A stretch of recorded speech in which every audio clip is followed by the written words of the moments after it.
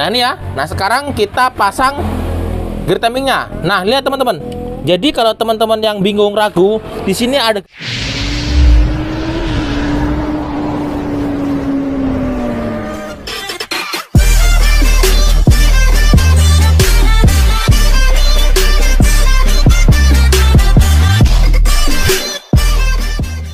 Halo guys, assalamualaikum warahmatullahi wabarakatuh. Oke teman-teman, jadi di kesempatan kali ini saya akan memberikan sebuah informasi yang sangat penting sekali.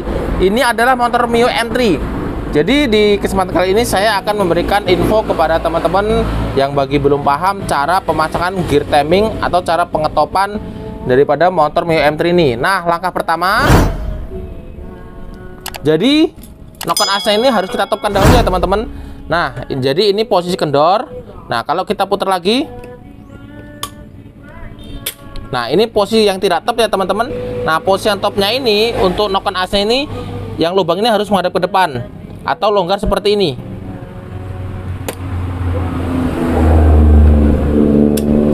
Nah, ini ya, teman-teman. Nah, kalau sudah longgar seperti ini, tandanya ini noken sudah top. Nanti akan kita ambil garis lurusnya.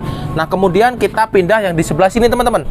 Sekarang kita akan mengetopnya bagian magnet. Nah, jadi magnet ini di sini ada garis. Nah, ini ya. Jadi garis yang di magnet ini dia harus sejajar lurus dengan ini. Ada tanda panahnya nih ya. Anak panah ini. Jadi harus lurus ya, teman-teman. Nah, kalau sudah lurus seperti ini, kita kembali lagi yang ke arah sini. Nah, ini ya. Nah, sekarang kita pasang gear timingnya. Nah, lihat teman-teman. Jadi kalau teman-teman yang bingung ragu, di sini ada garisnya. Nah, ini ya. Nah, jadi garis ini dia harus sejajar lurus dengan garis yang ini, teman-teman. Nah, ini ya. Atau lebih mudahnya, noken ini yang cowakan ini ini harus menghadap lurus ke depan. Nah, ini ya. Menghadap lurus ke depan. Nah, kemudian kita pasang gear timingnya. Nah, jadi seperti itu ya, teman-teman. Jadi harus lurus ke depan yang cowakannya itu Nah, ini ya.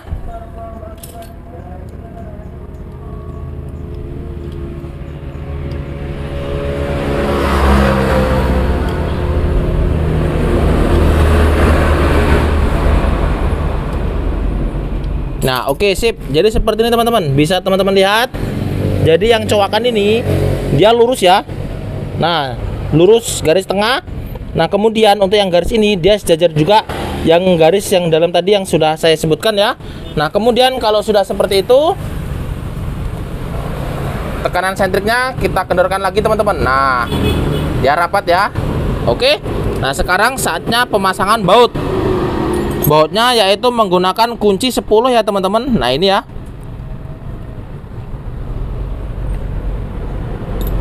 Kemudian kita kencangkan menggunakan impact agar bautnya kencang.